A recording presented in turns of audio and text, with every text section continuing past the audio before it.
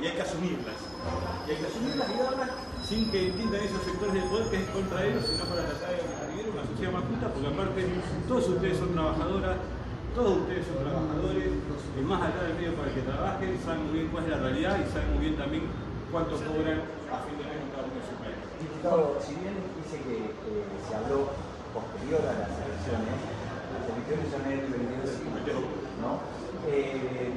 ¿Se habló de nombres propios de cómo ganarle a ese otro nombre propio o se habló directamente de cómo ganar? O sea, me No. refiero ¿se habló de cómo ganarle a Milei? Creo, creo que, que, que ganar para ellos nos remite más a una cuestión deportiva a veces, ¿no? Una elección también hay que juntar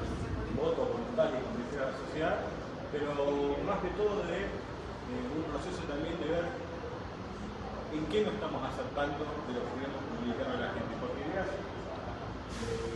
polarización o de vía libre, ¿no? O sea, dos monedas, aparte todos saben que la moneda fuerte que ponga la moneda chica, entonces saben que es bueno, lo que sí tenemos que tener en cuenta es que un proceso, por ejemplo, de discusión de la constitución en Argentina, eh, que fue un buen plan inflacionario, anterior que salió mucho antes del 19 y 20 de diciembre de 2001, que llevó a que millones de hectáreas en Argentina estuvieran embargadas por los bancos. O sea, el sector, uno de los sectores más competitivos de la economía argentina, como es el agro, durante la época de la convertibilidad, eh, generó la quiebra y el remate de numerosas propiedades de pequeños eh, y medianos propietarios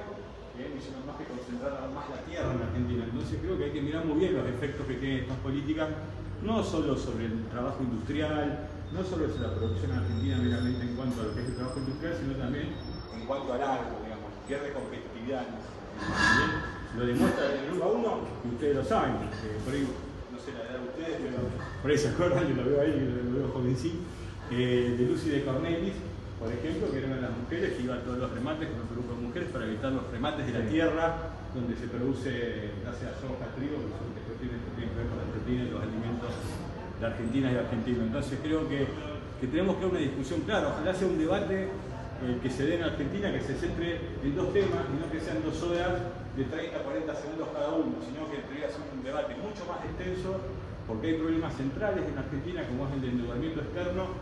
que si no lo arreglamos, discutir sobre el destino de nuestra seguridad, de nuestra salud, educación o trabajo, techo,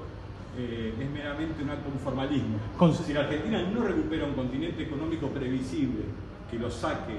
de, discusiones trimestrales con el Fondo Monetario Internacional, ustedes lo saben bien. Ustedes, compañero que tiene la Cámara, todo, el lunes a la mañana ganaba 20% más. Y después que el Fondo Monetario me impone una devaluación producto de la situación de debilidad de la Argentina luego del extravagante endeudamiento, hizo que los argentinos y las argentinas